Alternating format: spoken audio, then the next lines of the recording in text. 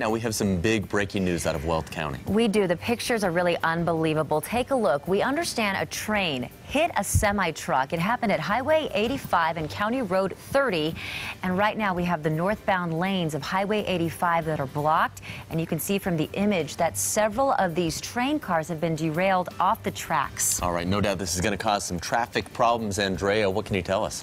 That's right. Highway 85 actually closed in both directions on the approach to County Road 30. So something to note there. Traffic not getting through in either direction. Now we do have several cars uh, derailed there. And of course, this is causing a mess. We have debris on the roadway. You can count on the fact that this crash will take uh, quite a few hours to clear up. So avoid Highway 85 and County Road 30. You might want to consider taking uh, Highway 34 to I-25. Also, uh, Highway 52, another option to avoid that area of Platteville. I-25 into town, also another option as well.